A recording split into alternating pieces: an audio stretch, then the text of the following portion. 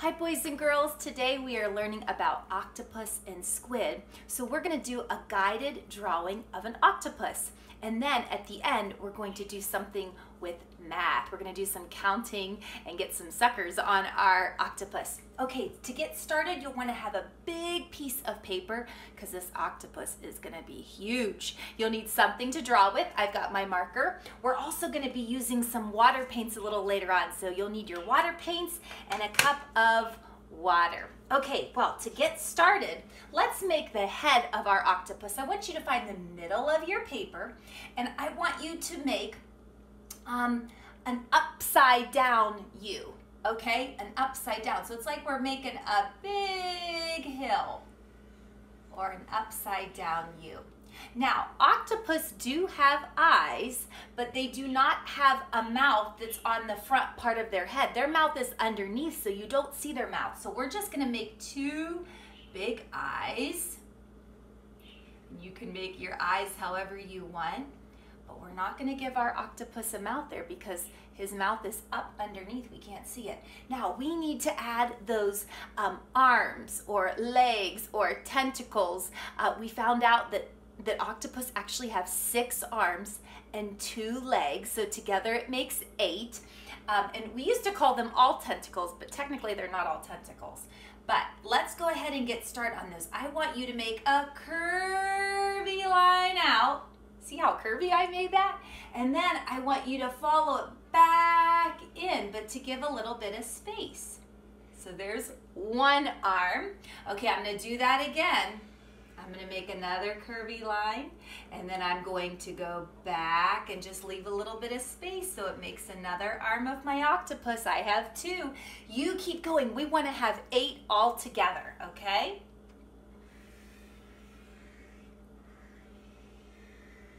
Isn't it fun making these curvy lines? Okay, I've got four. That makes five. Make that one really long. Six. Seven. I think I'll make that one go up here eight, and then we want to connect it back to his head. Okay, awesome. Well, we've got our eight um, arms or legs, or it's kind of a combination of both. But we need to go ahead and make this octopus colorful. So now we get to take our um, water paint, and I want you to um, color this octopus in. Oh, I almost forgot one part. We need to draw on the suckers. Now we're gonna add some other suckers a little bit later on, those suction cups, but what I want you to do is I want you just to start drawing circles. There can be some small circles, some big circles, all on the arms and legs of your octopus. So see how I'm making some big and some small? Now, the actual suckers or those suction cups are on the underneath part.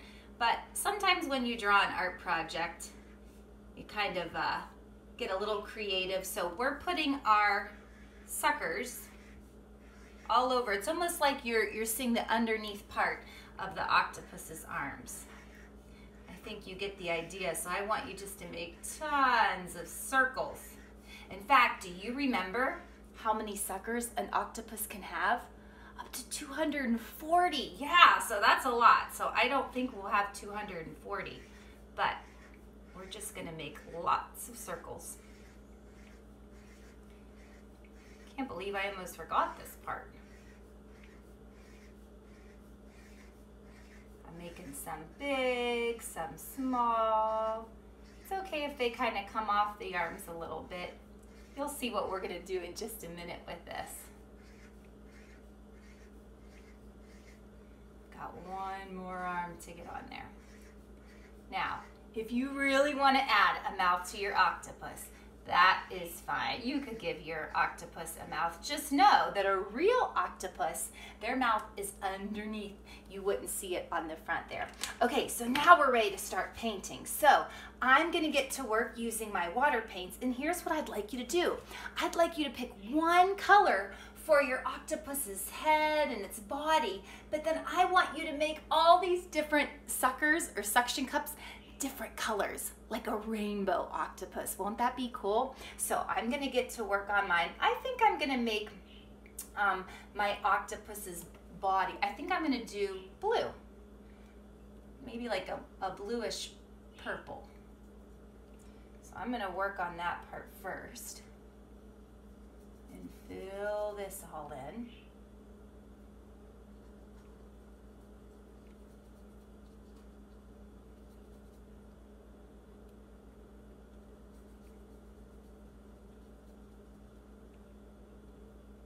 I love water painting. Do you guys like water painting? I think it's fun. In fact, I think it's a relaxing thing for moms and dads to do. If they've never tried it, have mom and dad try to water paint. They might find that they really like to water paint. Okay, well there's the, the head of my um, octopus. But, and I still want to go through and add some more blue, but I wanted to show you what I meant about the suckers. I just want you to pick all different colors. I'm gonna make this one yellow. I think I'm gonna make this one green. I think I'll make this one over here green. Oh, maybe that one green too. I think I'll make this one purple and this one purple. Do you see how I'm making my suckers all different colors? I'm just making them really colorful. Now, a real octopus would not have all these different colors of suckers, most likely. But once again, we're doing an art project and sometimes you can just, uh, you want to get creative and have fun with your art. Just like we said, you could add a mouth on your octopus if you wanted. Okay, well, I'm to finish painting. I want you to work on painting and then join me in the next part when we add some more suckers in a special way to our octopus.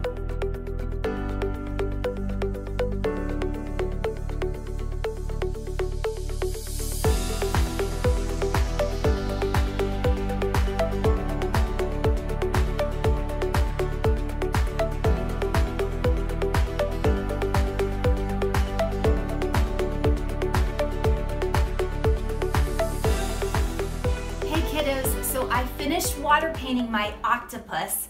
I made um, his main body uh, blue and purple, but then I, I made all the different suckers different colors. Now, I need to set this down on a flat surface and show you how we're going to do this next part.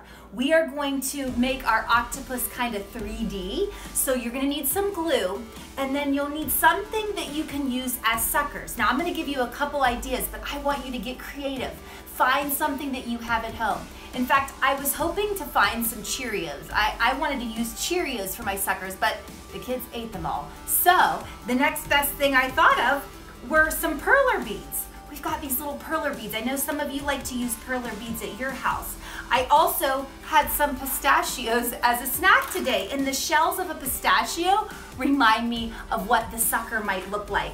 I also have these little pieces of straw that I cut up. So get creative. Maybe look in your recycle bin. Maybe there's something in there. You could even cut out uh, little circles. But if you want to make it 3D, if you want it to stand out, find something in your house that you could glue on like Cheerios or cereal or perler beads. So I'm gonna show you what to do. You're just gonna wanna take some uh, runny glue and put a dot of glue on your suckers that you already colored. And then I want you just to add whatever it is that you found. So I'm adding some pistachio shells to some of my big suckers that I, I made. I'm just spreading those out. And then I might use some uh, perler beads on the smaller ones. I'm using these uh, big uh, pistachio shells on the big suckers that I drew because I want you to still be able to see some of the color behind it. And then I think I'll, I'll take some of these perler beads and add them on the inside. In fact, I might even try to find, I've got a purple perler bead and I made that one purple. Oh, I made this one green. I can make this one green. I want you to get creative and see if you can cover all of your suckers that you drew on there, your little suction cups. See if you can make them 3D. Now, do you remember that an octopus can have up to 240 suckers? That is a lot of suckers on their tentacles, on their arms. Did you also know that they can use those um, suckers to hold up to 35 pounds? That is a lot, amazing. Well, I can't wait to see how your octopus turn out. And here's my challenge to you. Could you count the suckers on your octopus when you're all done? And could you write down how many suckers you were able to get onto your octopus? I have quite a lot on here, so it's gonna take me a while to count, but that's okay. It'll be great practice. Maybe you'll be able to get up to 240. I don't know, but have fun, kiddos. See you later.